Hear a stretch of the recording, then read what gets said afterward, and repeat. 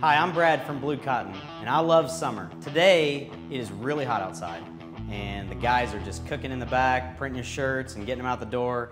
And so in the summer, I like to do really simple meals, really fresh meals. And so today we're having BLTs, and along with it, I wanted to have a really simple salad and also wanted to have some fresh tomatoes from our garden. So first, what I'm going to show you is a simple dressing you can make at home.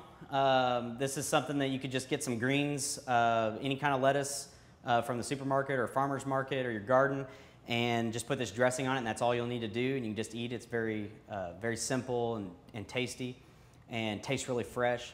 And then I'm also going to show kind of a spin on a, on a tomato salad, uh, a traditional tomato mozzarella salad I'm going to do with some feta and we'll, we'll do that later in the video.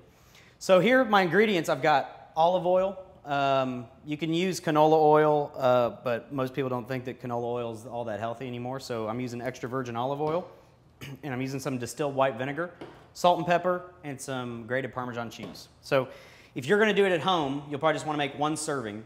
So you'll wanna use a half a cup of the olive oil, a fourth cup of the vinegar, some salt and pepper, and some Parmesan cheese to taste.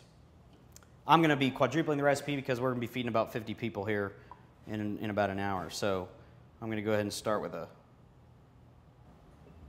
two cups of this. Okay, and then we'll do one cup of vinegar.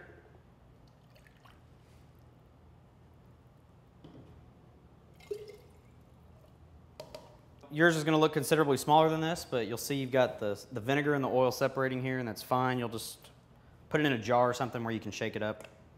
And then a healthy amount of Parmesan cheese, which you can add more later if you so desire. And then we're just going to put a little bit of salt and a little bit of pepper.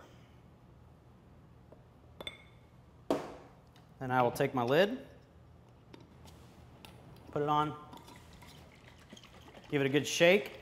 And then I like to put it in the refrigerator for a while, but you can see it has a nice, uh, nice look to it, kind of a just a nice little vinaigrette that you can put on a salad. And what I love about this is you don't have to put anything else on the salad. You can just put lettuce. If you want to put other things in it, you can, but it tastes great just with some fresh lettuce and some dressing. So we're going to put this in the fridge for an hour or so, and then we'll serve it and uh, dress the salad. All right, so we're gonna do a spin on a tomato salad to go along with our summer theme. So I've got some tomatoes from the garden sliced up here. This is an heirloom tomato called a Cherokee Purple.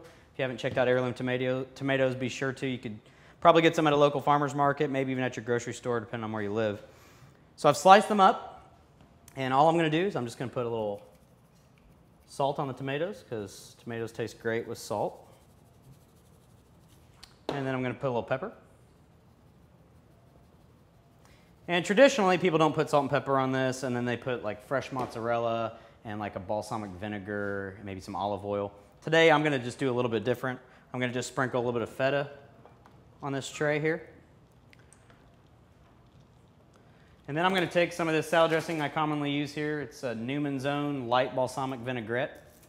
And I'm just gonna drizzle a little bit of the vinaigrette over the tomatoes. And a lot of times I'll even add some basil to this too, uh, but I forgot to get basil. And then for our salad, I've had my salad dressing in the fridge for about an hour. And you can leave it in for days. Uh, you can make it at the beginning of the week and use it all week or even longer than that if you want to. So just make sure you shake it up. Then just